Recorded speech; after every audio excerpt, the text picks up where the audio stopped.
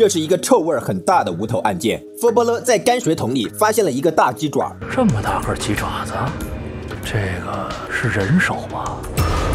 帅气的法医秦明和林队长立马赶到现场。如果是人手的话，好像细了点儿；如果是鸡爪的话，又好像大了点儿。秦明却认为，如果是女人的手，经过油炸，完全可以挛缩成这般大小。看来这是一起杀人诈尸凶案。在小吃街发现尸块，围观的人群又特别多。上级要求四十八小时之内必须破案，否则将会引起人们的恐慌。秦明连忙通知明天来报道的新助手，今晚现在马上赶到现场帮忙。不料人到场一看，新助手居然是个女的，名叫大宝。秦明头也不抬地说：“今天这活儿女的做不了，这什么活儿是男的能做，女的却做不了的？”秦明把小手一指，这大宝居然卷起袖子，塞住鼻子，直接开搂。只见他们从几个泔水桶里搂出许多油炸过的尸骨。回到法医解剖室，大宝将所有的碎骨块按照人体结构环然摆放，并且分析推断，凶手把这些尸块切得特别小，说明他炸尸的工具并不大，或者抛尸地点不允许他切割太大，比如说下水道。秦明让他闻一下，这是什么？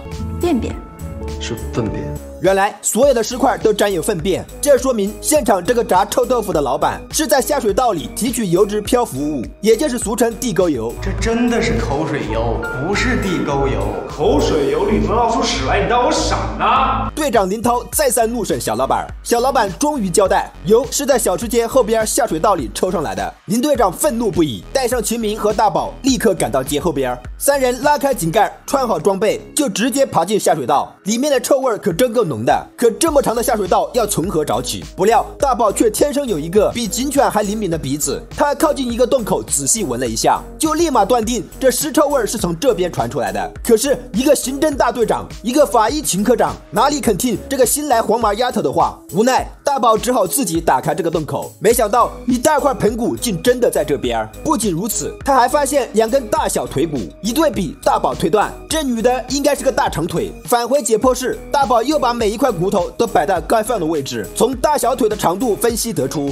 死者应该是一个身高一米七五的女性。但是秦明觉得很是奇怪，这个死者的身材真有那么好吗？腿部竟然有这么长。果然，福伯勒调查案发小区所有人口，也没找出一个一米七五的女性。倒是有一个二十五岁的家庭主妇倩倩，邻居说有两个星期没见到人了。倩倩的丈夫是大酒店的餐饮部经理，餐饮油炸。林队长顿时问了元芳，这中间必有蹊跷。可根据警员了解，倩倩的身高只有一米六，这又是为什么呢？他们决定先去这个倩倩家里调查一番。林队长用两根牙签撬开门锁，打开房门，一股恶臭扑面而来，顶着千万只苍蝇满天飞舞。法医秦明、大宝和林队长三人直接进门展开调查。这里果然是案发第一现场。推开厨房门，大宝立马就要吐了。秦明也连忙冲进厨房，凶手果然就是在这儿油炸那些尸骨。打开冰箱门，居然发现两个人的头骨。原来死者一共有一男一女，那个长长的腿骨应该就是男被害者。这还没完，他们进入卧室，打开衣柜，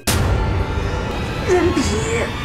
惊魂未定的大宝和秦明再次返回解剖室，从带回两人的头骨伤口分析，凶手作案工具可能是把圆形的大锤子，而这种八十的锤子，平时一般也就装修工人使用。装修工人林队长发现，在死者倩倩的记账本上记录，几个星期之前，他找人修了下水管道，花了六十块，这就对了。因为装修工人是需要上门服务的，所以案发现场没有破门的痕迹。可是装修工人这么多，又该从何找起呢？还好林队。长聪明，从这无数张小广告中一一排查，终于找到一个叫李大狗的嫌疑工人。林队长一行来到工地，破门而入，果然在枕头下发现带血的内衣，而且发现这个李大狗好像会配钥匙。李大狗从外面回来，刚一进屋，看到警队，吓得撒腿就跑，可是跑不过三秒就被林队牢牢按住。这个李大狗倒也坦白，他嚣张的交代了全部作案过程。原来李大狗是个变态狂，在帮倩倩家修理下水管道的那天，他趁倩倩不注意，刻下了房门钥匙。他还摸清楚，每天下午五点，倩倩会和她的老公一起出去买菜。我没想着要杀人，我就是想要偷她一件内衣而已啊。那天下午五点刚过，李大狗拎着大锤就上门了。可他怎么也没想到，那天倩倩的老公恰巧生病在家，所以倩倩早早的一个人买菜回来，想做油炸丸子照料老公。不料房门却突然被李大狗用配好的钥匙打开，发现家里有人，狗急跳墙的李大狗竟然就干脆关上房门，用大锤砸死了倩倩夫妻俩。后来才有了那些扔进臭水沟的骨头，被警方从泔水桶里捞出。为什么要诈尸？看见那些雪白的肉放进油锅里炸成金黄色，多性感！